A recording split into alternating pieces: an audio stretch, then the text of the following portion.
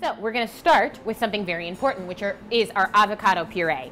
Now for this, we just puree an avocado with a little bit of lime juice and cilantro. Keeps it delicious, bright, and green in flavor. After that's going to go in our tomatillo and serrano simple syrup. So for this, we cook the tomatillos and serranos in a little bit of sugar and water, and then blend them all up together to give the spice and tang that go into the guacamole.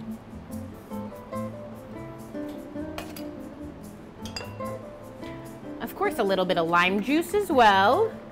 And then finishing it off with one of my favorite mezcales, the Oaxaca Joven Espadín. Really light and crisp.